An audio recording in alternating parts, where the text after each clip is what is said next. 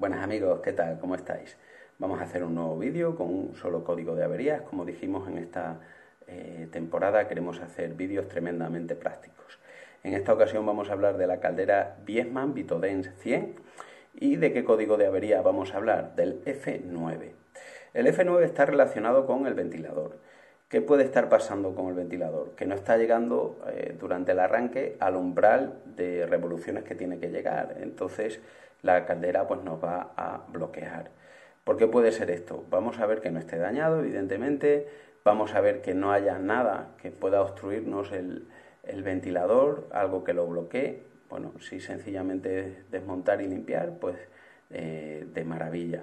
Vamos a mirar el cableado, como siempre digo, el conector del, eh, del ventilador, el conector que va a la placa electrónica.